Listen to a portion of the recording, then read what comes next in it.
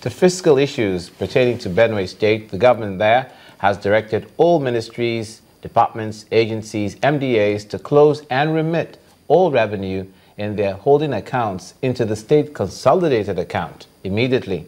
Governor Samuel Ortom gave the directive at a meeting of stakeholders with accounting officers of MDAs and tertiary institutions where he ordered the MDAs to cooperate with the Board of Internal Revenue in the collection and remittance of those revenue using the POS.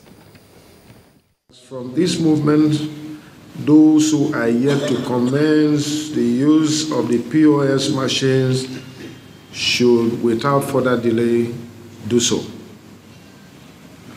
You are also to close all existing revenue accounts opened without authorization and remit the balances into the Benue State internally generated revenue account as enshrined in Section 1 of the Benue State Revenue Administration Law of 2015.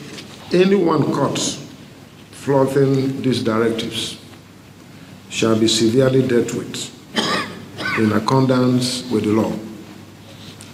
Be reminded that this administration have no place for corruption. And I have always made it clear that if you chop money, money will chop you.